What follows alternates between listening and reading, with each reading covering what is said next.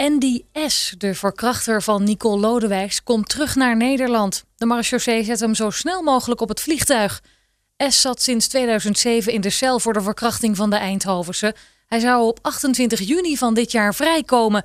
Twee weken voor zijn vrijlating ontsnapte S tijdens een verlof en sindsdien was hij spoorloos. S wist zonder paspoort of identiteitsbewijs naar Curaçao te vluchten. Justitie stelt nu een onderzoek in naar hoe dat heeft kunnen gebeuren.